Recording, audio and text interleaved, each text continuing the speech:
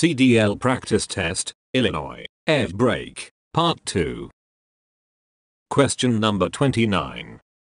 Which of these is true regarding the air governor compressor relationship? A. Cutout pressure is 100-120 C. B. When the air tank pressure rises to cutout level, the air governor signals the compressor to begin pumping air. C. The air governor is located inside of the compressor. D. The air governor controls the compressor.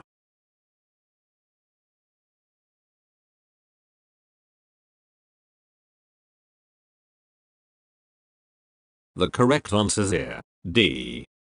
The air governor controls the compressor. Explanation. The air governor is located on, or near, the compressor, and its job is to regulate the amount of air pressure in the system. It does this by reacting to the air tank cutout and cut-in pressures. When the cutout level has been reached, about 125 C, the air governor tells the compressor to stop pumping air. Conversely, when pressure falls to the cut-in level, 100 C, the air governor tells the compressor to begin pumping air.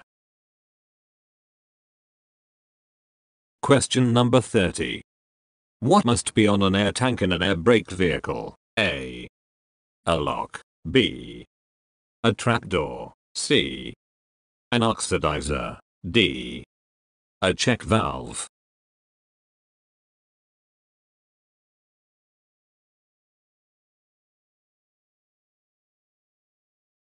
The correct answer is here. D. A check valve. Explanation. All air tanks on air brake vehicles must have one-way check valves located between the air compressor and the first reservoir this prevents air from flowing out in the event of a leak. Question number 31. If you must make an emergency stop, brake so that A. You'll definitely lock the brakes. B. You can use the parking brake before the brake pedal. C. Your vehicle will stay in a straight line.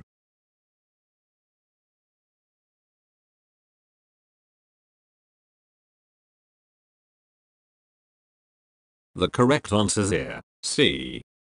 Your vehicle will stay in a straight line. Explanation.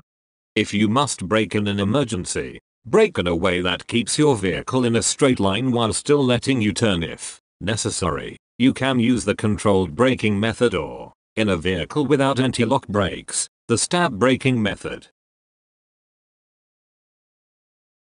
Question number 32. Checking the manual slack adjusters on the S-cam brakes should be done during what step of the basic 7-step inspection procedure? A. Step 7. Start the engine and check brake system. B. Step 2. Check engine compartment. C. Step 1. Do vehicle overview. D. Step 5. Do walk around inspection.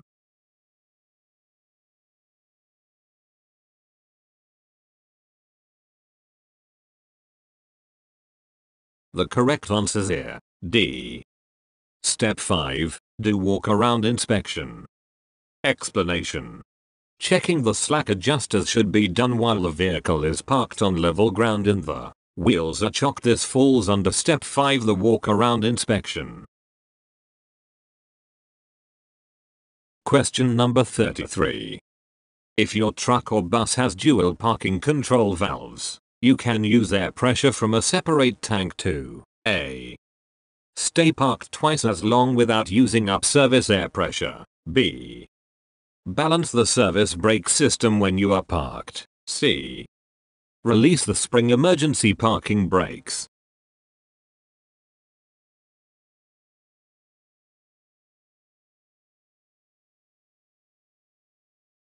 The correct answer is here. C. Release the spring emergency parking brakes. Explanation. With a dual parking control valve you can use the pressure from a separate air tank to give enough air pressure to release the spring brakes and move your vehicle. This is very useful in emergency situations. Question number 34. The air compressor governor controls A. When air is pumped into the air storage tanks. B. The air pressure applied to the brakes. C. The speed of the air compressor.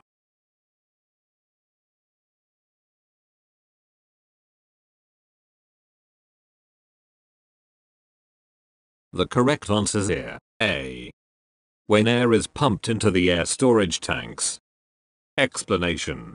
The air compressor runs at all times while the engine is running. To keep the air pressure from eventually rising too high, the air compressor governor controls when the compressed air from the air compressor should flow into the air reservoirs. When air pressure drops to a certain level, typically 100 C, the governor cuts in and routes the compressed air into the storage tanks. When air pressure rises to a certain level, typically 125 C, the governor cuts out and routes the compressed air out of the system into the atmosphere. Question number 35. What does the supply pressure gauge indicate? A. The amount of pressure in the braking system. B. The amount of pressure needed in the air tanks. C. The amount of pressure the air tanks are intended to hold. D. The amount of pressure in the air tanks.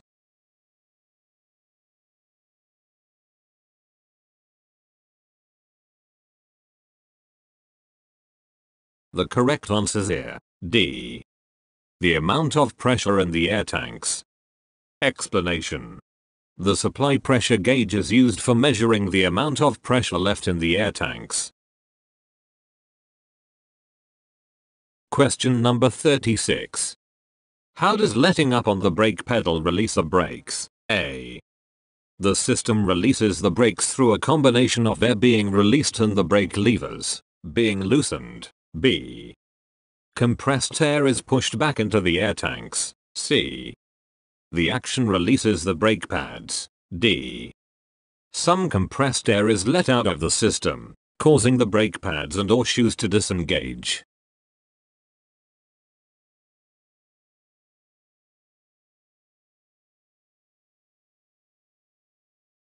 The correct answer is here. D. Some compressed air is let out of the system, causing the brake pads and or shoes to disengage. Explanation. When a person lets go of the brake pedal, the air pressure in the air tanks is reduced by letting air out of the system. This causes the brakes to be released. Question number 37. Pressing on the brakes as hard as you can, releasing when they lock up, then pressing the brakes fully again when the wheels are rolling is called A. Anti-lock braking, B. Impact braking, C. Controlled braking. D. Stab braking.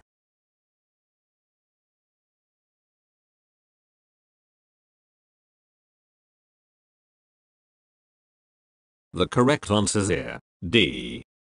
Stab braking. Explanation. When a person presses as hard as they can on the brakes, releases the brakes when they lock up, then press as hard as they can again on the brakes when the wheels have begun rolling, it is called stab braking. Question number 38. You are driving on a steep downgrade and have the engine in the appropriate low gear. If your safe speed is 45 miles per hour, you should not apply the brakes until you have reached what speed? A. 60 miles per hour. B. 55 miles per hour. C. 50 miles per hour. D. 45 miles per hour.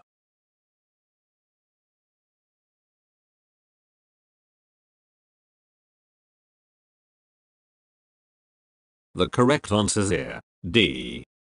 45 miles per hour. Explanation.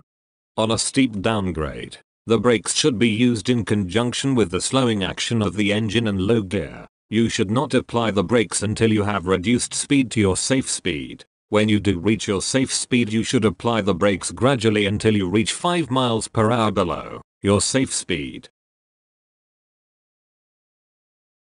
Question number 39. All vehicles equipped with air brakes have A. A supply pressure gauge, B. An air use gauge. C. A backup hydraulic system.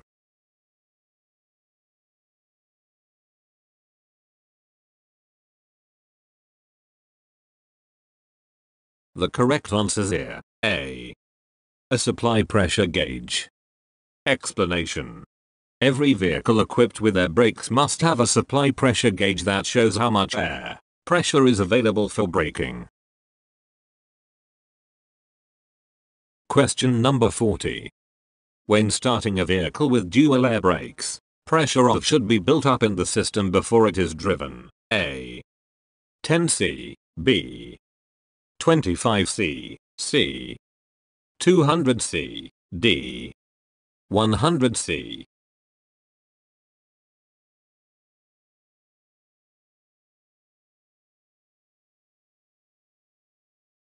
The correct answers here. D. 100C. Explanation. Before driving a vehicle with a dual air brake system, allow time for the air compressor to build up pressure of at least 100 C in both the primary and secondary systems more. Question number 41. Some vehicles, such as buses, have a separate air tank used to A. Enable the driver to disengage the parking brakes and continue driving normally. B. Convert the air brakes into an emergency braking system. C. Supply air to the braking system if the primary air tanks fail. D. Release the spring brakes.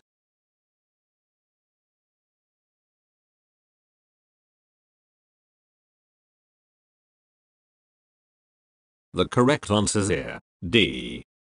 Release the spring brakes. Explanation. Some vehicles have a separate air tank used to release the spring brakes in the case of an emergency. This allows the vehicle to be moved. Careful planning must be used, though, as there is only enough air to move it a short ways. Question number 42. The stoplight switch, A, tells you when the air brake system's air pressure is low. B. Tells you when you need to use your emergency brakes. C. Turns on the brake lights when you brake.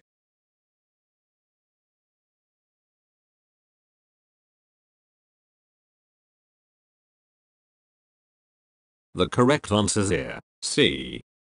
Turns on the brake lights when you brake. Explanation. The stop light switch is an electric switch triggered by air pressure. When you apply the service brakes, the stop light switch turns on the brake lights. Question number 43. Which of the following is the most important thing about hard braking? A. Don't lock the wheels for longer than an instant. B. Disconnecting the steering axle brakes will help keep your vehicle in a straight line during emergency braking. C. Never do it without downshifting first.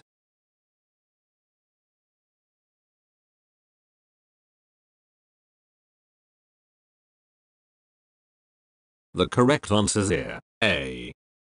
Don't lock the wheels for longer than an instant. Explanation. When braking hard, don't lock the wheels for longer than an instant, which is done in stab braking. If the wheels stay locked, they will lose the grip of the road and your vehicle may skid or even jackknife. Question number 44. Excessive use of the service brakes may result in overheating, which can lead to A. Expansion of the brake drums, B. Increased contact between the brake drums and the brake linings. C. Improper adjustment of the S-cams.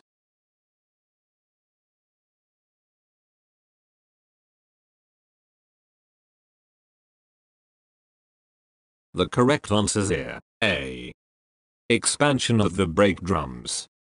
Explanation. Overusing the service brakes can cause overheating and expansion of the brake drums. The brake shoes will have to move farther to contact the brake drums, making braking harder or eventually impossible. Brake fade. Question number 45. Repeatedly pressing and releasing, fanning, the brake pedal may result in A. No change in brake air pressure, B. A buildup of brake air pressure, C. A loss of brake air pressure.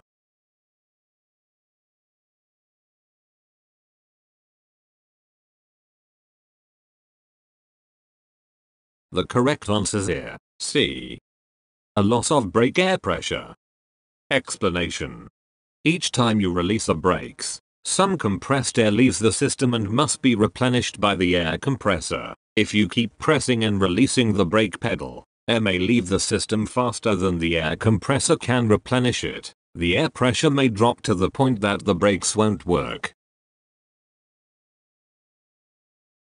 Question number 46. If the air compressor should develop a leak, what will keep the air in the tanks? A. The tractor protection valve. B. The one-way check valve. C. The emergency relay valve.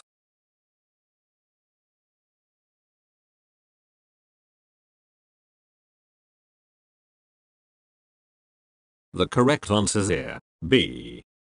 The one-way check valve. Explanation. Federal regulations require a one-way check valve or an equivalent device to be located at the entrance to the first air tank. Open bracket. In a dual air brake system, there must be a one-way check valve at the entrance to both the primary and secondary air tanks. If the air compressor or the line connecting it to the air tank develops a leak, the one-way check valve will prevent the air from going out. Question number 47. A vehicle equipped with an anti-lock braking system, ABS, uses a light to warn that the system is not working properly. A. Green. B. Orange. C. White. D. Yellow.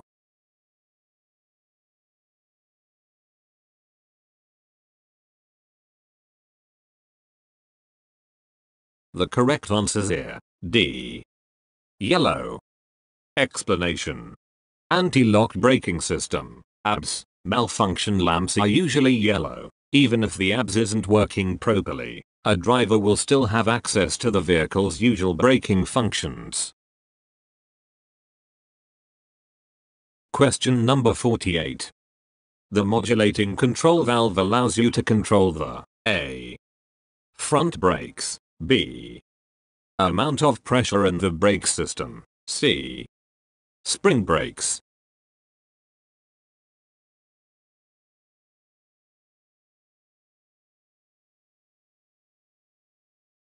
The correct answer here, C. Spring brakes. Explanation. In some vehicles the control handle on the dashboard may be used to apply the spring brakes, gradually. This is called a modulating valve. It is spring loaded so you have a feel for the braking action. The more you move the control lever, the harder the spring brakes come on. They work this way so you can control the spring brakes if the service brakes fail. When parking a vehicle with a modulating control valve, move the lever as far as it will go and hold it in place with the locking device. Question number 49. What does the air compressor governor do? A. It turns on the air compressor. B. It stores the compressed air. C. It stops the compressor from pumping air.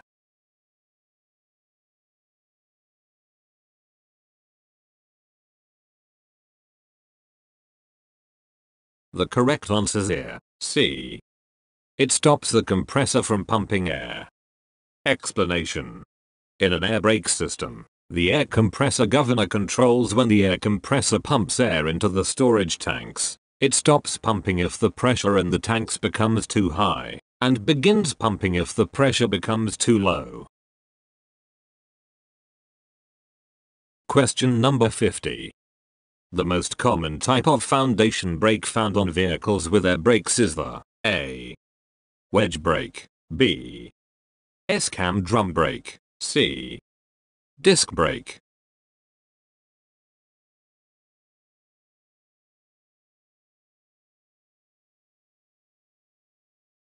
The correct answer is here, B. S-cam drum brake. Explanation Foundation brakes are present on each wheel. In North America as of this writing, S-cam drum brakes are much more common than wedge or disc brakes. Question number 51. Emergency brakes are A. Not required on trucks. B. Only required on trailers. C. Only required when transporting hazardous materials. D. Required on tractors.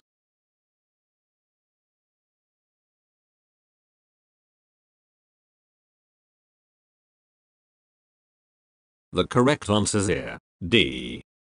Required on tractors. Explanation. All trucks, truck tractors, and buses must be equipped with emergency brakes and parking brakes. Question number 53. The driver must be able to see a low pressure warning, which comes on before pressure in the service air tank falls below. A. 100C. B. 60C. C. 80C.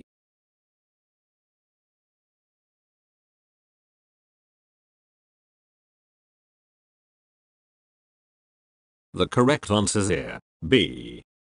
60C. Explanation. The low pressure warning is set to come on before your air tank pressure drops below 60C. Question number 54. In a dual air brake system, A. Air tanks are shared between both systems. B. You must designate which system you are using. C. Each system has its own air tanks.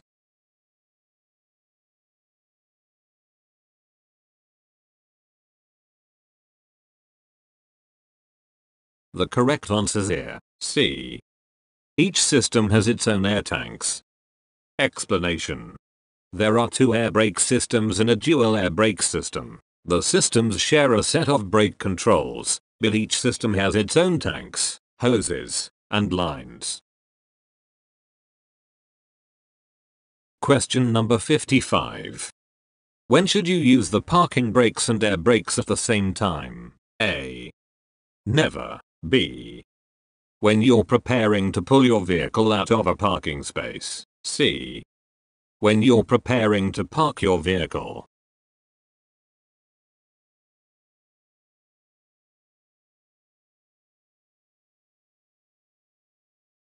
The correct answer is here. A. Never. Explanation. Never try to apply the brake pedal when the spring brakes are on. The combined force of the springs and the air pressure could damage the brakes. However, the brake systems on some, but not all, Vehicles are designed to prevent this from happening.